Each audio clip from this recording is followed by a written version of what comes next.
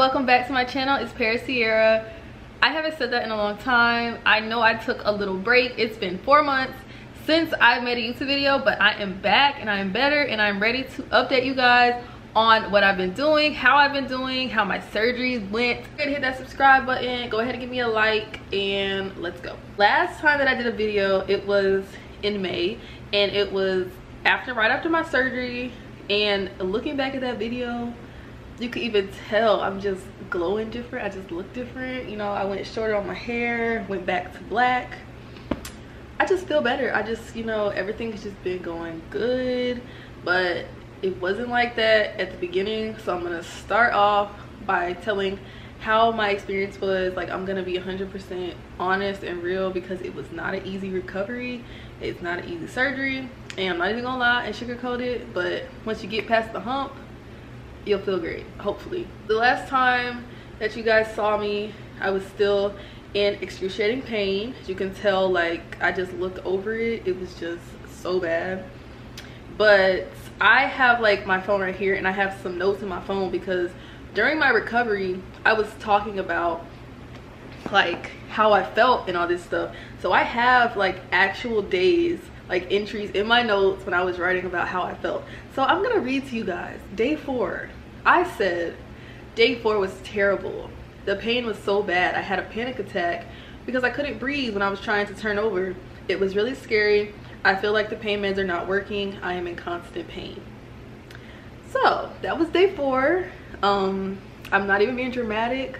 The pain literally is it was undescribable i didn't even think i could be in that much pain yeah i was just i was in a bad mood i was being mean to my mom mom if you're watching this i'm sorry i was just it was so bad. Like i couldn't even think about anything but the pain and i could only take my meds every i think it was six hours. So i mean i was on strong meds but i didn't feel like they were working because i was still in pain. So i don't really that was just bad. Day five i said i woke up and thought i tore my incision. All i want to do is cry. This pain is so bad. It was not getting any better. I thought i was gonna die i regretted getting the surgery. I was like i should not have done this. I should just stay with my cricket bag so day seven so i was still in arkansas. Day seven is when i flew back to georgia because i was gonna recover in georgia with my family. So i flew back with my mom. Who was in first class because we wanted more room for me to be able to be comfortable. It did not work like didn't help. That was the worst plane ride of my life. You guys it was so bad um like i had to be in a wheelchair to go through the um the airport because i couldn't walk obviously. Like I could only walk for like certain amount of times before I would get super tired and I would be like in pain. Luckily, I remember taking my pain meds right before we got on the plane so they would kick in while we were on the plane. But yeah i had to get back to georgia somehow. I was gonna drive. My dad was gonna come here get a minivan. We were gonna rent a van and then drive back to georgia. Luckily we did not do that because that would have been nine hours in the car of excruciating pain. So the flight was only an hour from arkansas to georgia. It was terrible but so glad that we had to fly instead of drive because i can't even imagine how that drive would have been.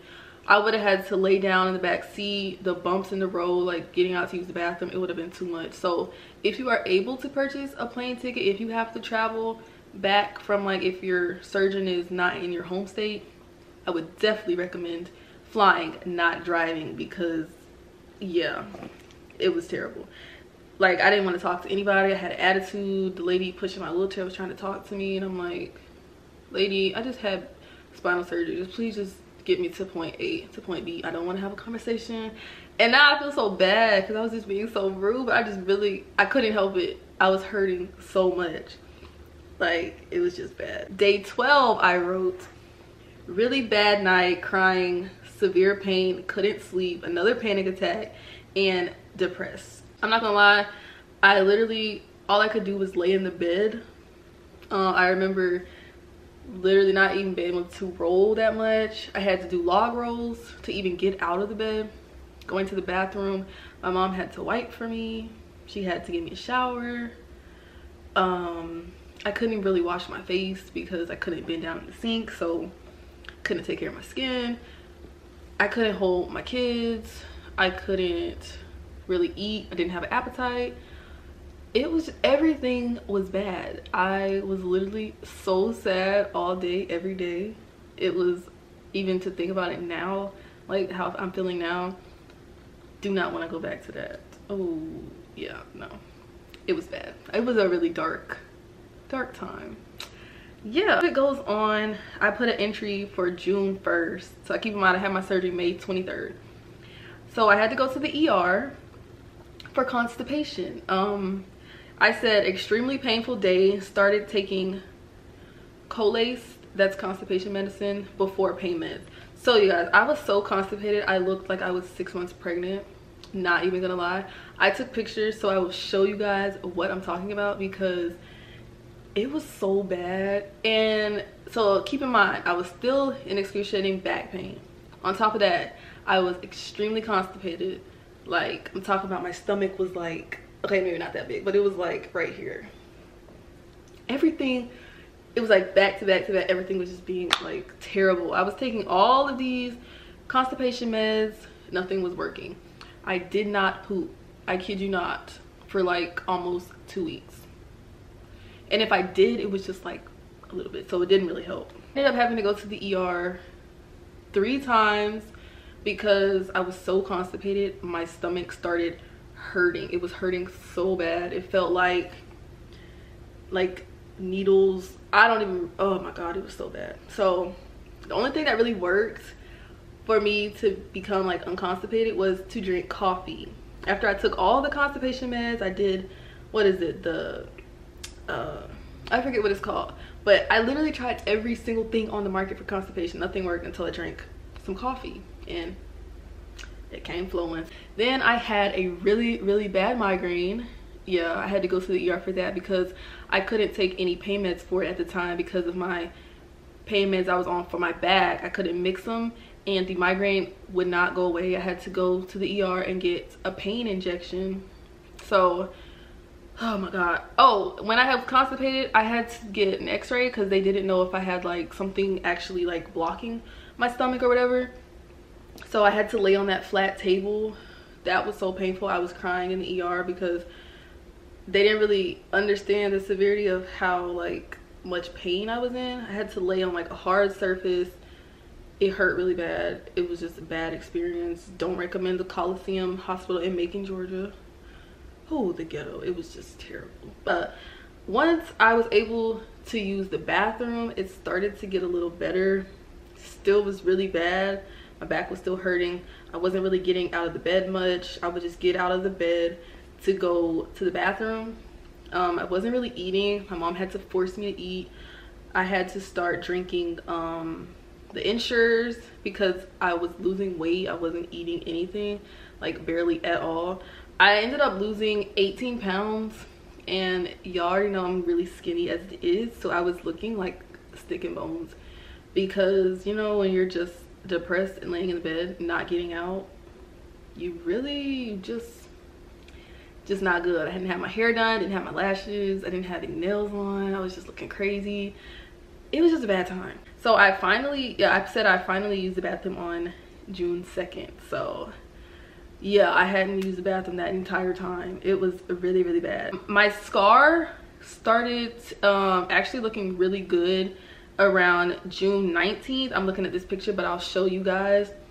Um, i couldn't wet my scar so when i showered i started bathing myself again probably i would say in the like middle of june. I just had to like be careful because i didn't want to fall in the shower. It was it was hard to shower because it was I would get really tired from not having any energy from not eating and also from the back pain. So showering was pretty rough. It was also rough to be standing up at the sink to brush my teeth and wash my face but you know I had to do it. But oof y'all. When I tell you this surgery was it's not for the weak it is not for the weak. It is the surgery is hard the recovery is hard but the result is yeah i feel so good now like my my scar looks so good like the pain that i have now is nothing compared to the pain I had before the surgery. I was in constant pain before, like excruciating, like it was just bad. And it was getting worse, felt like by the day. So now I just have like, I have soreness, I can't lift certain things and I have like limited range of motion because obviously I have metal in my spine so. But for the most part I think I'm healing pretty good. Been back at work for almost two months now. I'm in physical therapy and yeah it's just been looking good for now. Around um I would say July-ish I started to get worried that my depression was getting a little too out of hand so because i wasn't doing anything like it was kind of getting like dang all i do is lay in the bed all day. Couldn't like pick up my kids. They weren't really coming to me because i can't pick them up so they were like gravitating towards my parents and that was really hurting my feelings. That on top of me losing all the weight not eating like not doing anything. I was just laying in the bed. I sometimes i didn't even want to watch tv i didn't even want to get on my phone. Didn't want to talk to anybody. I would stay in the room with the door closed all day and it got to a really bad place so i had to reach out for help. So don't ever feel like you can't reach out and get the help that you need because there's always somebody that you can talk to. There's always you know numbers you can call places that you can go if you really need that help. So don't ever feel like you're too tough or that they're not going to help you because if if i wouldn't have got the help that i needed i don't think i would be as good as in a good of a place that i am now. This surgery is major. I don't care what anybody says. They try to downplay. This surgery changed my life. At first it changed it for the worse. I was like dang maybe i shouldn't have gotten this surgery. But now that i'm i got it and i'm on the healed like on the journey I, it's been around what four and a half months almost five months now.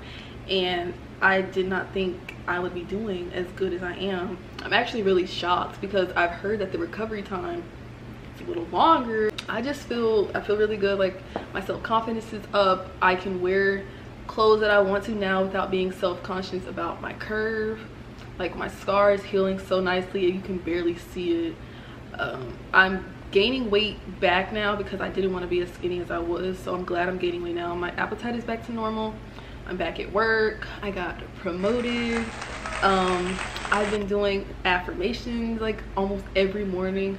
I've been meditating. I've just been being more positive and I think that this surgery had a lot to do with that also changing my mindset and just appreciating everything because I'm so appreciative that the military covered this surgery because that surgery I know would have been uh, a hefty price. I'm really excited with where I'm going and the direction that my life is going now. So if you're thinking about getting the spinal fusion surgery, I am not a doctor, I'm not a medical professional, but I'm just giving my experience. I don't regret getting spinal fusion surgery, even though it's only been almost five months. I haven't had like any complications besides when I was first healing, but that's normal. My surgeon warned me it wasn't gonna be easy. I knew from the start, I knew what I was getting myself into.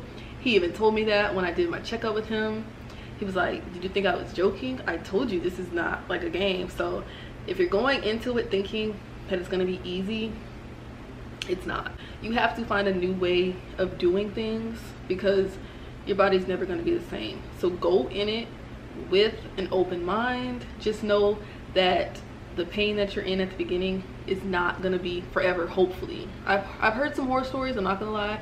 My surgeon was honest with me and told me some people don't come out of it pain-free they actually come out of it with more pain. Luckily that's not the case for me. And i hope if you're watching this and you're about to get the surgery that it's the same for you. If it's not i mean i guess you could kind of look at it at least that you will have a straighter back because hey if you look better sometimes it makes you feel better. I know that's the case for me because you know i started doing my hair. I learned how to do my makeup a little try but you know i just been dressing up a little more trying to just live a little more. And i really think that the spinal fusion had a lot to do with my journey. And yeah so i just wanted to come on here and to tell you guys like i'm doing okay. I'm doing great because i know a lot of you have been wondering where i've been. Um, i'm gonna be back on youtube now so just leave some suggestions on videos that i should do or stuff you want to see. If you want to see i think the next video i'm gonna do is must-haves for spinal fusion surgery and also what you don't really need. Because i did buy a lot of stuff that i ended up not using. So i feel like that'll be a helpful video. If you think so go ahead and leave me a comment or just leave a comment and tell me any other video you want to see. I hope you guys enjoyed this video. Um, it's just a little quick update to let you know that i'm still here and i'm good. And i can't wait to get back on youtube don't forget to leave me a thumbs up hit that subscribe button leave me a comment interact with me follow me on my social media and i will see you guys in my next video. Bye